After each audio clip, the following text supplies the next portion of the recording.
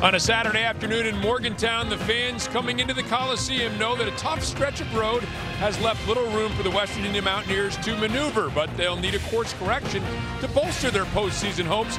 They hope to be back on the straight and narrow today in Morgantown when they host the Kansas Jayhawks. She's out there just to set screens, doesn't look maybe comfortable shooting from that range. And that's exactly what Kansas wants to do. Thomas hits the three from the corner. Stevens was one of those players that was not in the first matchup with these two teams. Lob down to Norris, and Norris with a nice catch in the finish. Martin in trouble. Goes to Niblack. Forced to shoot, and Niblack will hit. And again, that's the shot that could open up her whole offense, you think. You get it inside, you kick it back out, you make the extra pass, you just can't down, knock down a shot. Here's Mitchell from three-point range, and she hits in the waning moments of this first quarter. Carvalho.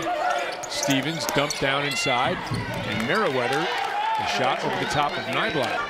15 in the shot clock. Niblack spins. Oh, beautiful move by Kari Niblack, who got knocked in the nose there, it appears, towards the end of that play. 10 on the shot clock. Smith, three-pointer.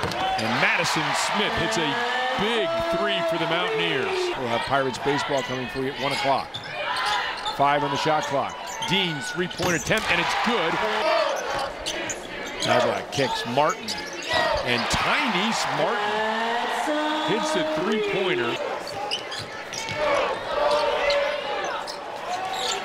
Martin, oh, Tiny Martin is feeling it now. Third lead change of the game.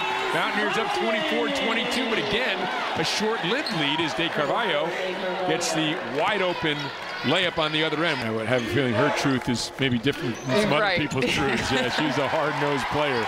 Here's Deans now back the other way and drives it on Mitchell and converts. And now a game-high five-point lead for the Mountaineers up 32 to 27. Franklin and Thomas, a Kersgieter in there as well, really ready to turn the corner as we see Kersgieter on cue hitting the three-pointer.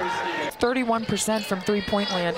Uh, so you think if she got two opportunities, she's going to knock one of them down. And Franklin now a chance for a three-point play, draws the contact from Lucky Rudd. Martin pulls. Tiny Martin hits the three-pointer for the Mountaineers. Bria Holmes for third all time. And if she sticks to her average, oh, beautiful move by Niblack. You know, the last few games have probably hurt her. She would be probably a little closer in that margin as of right now. Man, that was a deep three. Carvalho from way downtown. Perhaps if she gets hot, maybe uh, Mountaineers have some extended time in the postseason. She could possibly wind up second all time. Less than 17 minutes a game. Very, very efficient rebounding numbers. Oh, beautiful hesitation move by Madisen Smith. Oh, she just threw that up there and it went in. And I've seen it too much to think that, oh, she's throwing up there and it goes in. Man, talk about throwing it up there and going in, but yeah. it looked nice. Take a bio again. Franklin, pretty move right down the middle. Smith kicks Martin three, and it is good for Tiny Martin. The Big 12 tournament and when they went on to win the championship. I mean, I've never seen a player with such dominance. Deficit for Kansas. As Franklin was a pretty move in the left-hand finish. She's left-handed, but uh, nice finish there.